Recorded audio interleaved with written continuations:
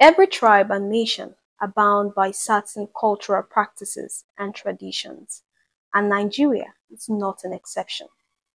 Certain tribes in the country, however, have what one can refer to as weird, strange, and even outrageous traditions.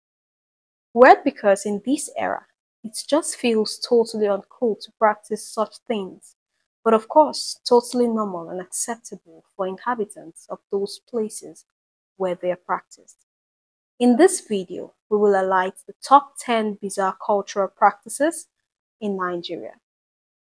Top 10 on our list, scarification in Benue State. In some parts of Benue State, the practice of scarification is still common. This involves making permanent designs on the body by cutting the skin and rubbing charcoal or other substances into the wounds. Scarification is not only peculiar to the Idoma tribe of Benue State. You can also find scarification in Ogbomosho, Oyo, southwest Nigeria, and Fulani in the north. It can be of various shapes and sizes, depending on the culture where the scarification is taking place. Top 9, we have Magun. Magun is a fetish practice among the Yoruba tribe, which is set as a death trap for adulterous women to kill any man that sleeps with such woman. Magun means don't climb, which is placed on the floor by the woman's husband without her consent, so that if she commits adultery, a lover could end up losing his life or getting stuck while in the act. Hmm, now wow. Now, top 8 on our list is Sharo. The Sharo festival is one you might have heard about. Sharo means flogging. It is an age-old tradition still practiced till date by the Fulani, majorly in Jigawa State, in which a groom undergoes the most unimaginable form of endurance test. In this case, the groom is severely flogged in an open ceremony flogging that can reset brain. The groom must endure the flogging. He must not cry or show any form of pain. If he passes this test, he is presented with the bride. If it happens that the groom fails the first, he goes home empty handed. Top 7 on our list is marriage by kidnapping. Within the Tiv and Igede tribe of Benue State, Marriage in present time is a thing of wealth and celebration, just like in many other parts of Nigeria. In previous times, though, tradition allowed a man who found a girl he likes to organize to kidnap her from the street. He would hold her hostage and then proceed to negotiate marriage with her parents. The whole process involves gifts given, rituals such as gun firing and warning intending suitors to keep away from her. After the whole rite, the lady is officially his wife. I'm actually speechless. Like, seriously. Top six on our list is widowhood.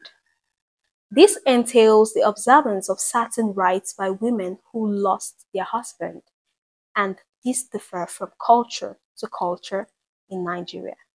Common among the Igbo speaking in southeastern Nigeria, the woman is expected to wail and cry loudly at her husband's death, show a deep sense of grief, cry loud morning and night, prove her innocence by drinking the water with, with which the corpse was washed, being locked up with her husband's corpse. The hair on her head and body are compulsorily shaved. Widowhood is often the beginning of lifelong oppression and misery for women. Top 5 on our list is female circumcision. This scary act is highly prevalent and common in Yoruba, Igbo, Hausa, Ijaw, and Kanuri communities. Unlike the male circumcision, which involves partial or complete removal of the foreskin around the genitals, the female circumcision involves total removal of the genitals just to preserve the woman's chastity. Please don't preserve it for me. Top four on our list today is child marriage. Child marriage is prevalent in the Hausa ethnic group, especially in the Sharia legislated Kano state. The rates of child marriage are some of the highest in the country. Recent report shows that in some northern states, 78% of girls marry before the age of 18.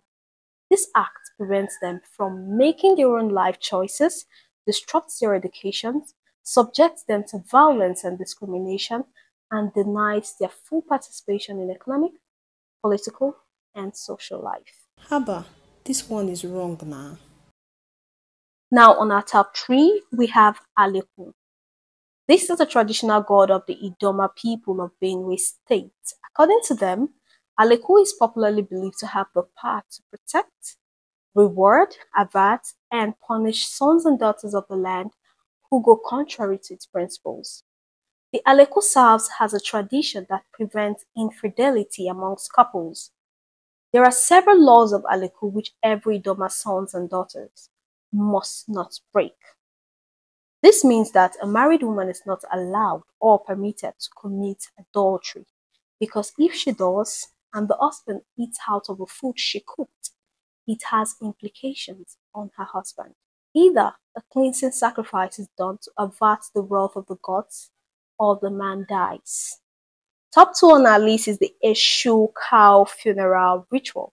Eshu is an Igbo breed of cow used in a funeral rite in the Nsukka cultural area of Igbo land. But many factors influence if someone will receive funeral rites, such as how and when they died, their marital status, and if they performed the same rites for their own parents. If someone qualifies, then the rite is performed to ensure that the dead can rest peacefully and to lift them to a higher position within the spirit world. But it is weird that if you have not performed this tradition for your parents or could not afford to perform it, your children must not perform it for you. And today, the top one on our list is money marriage.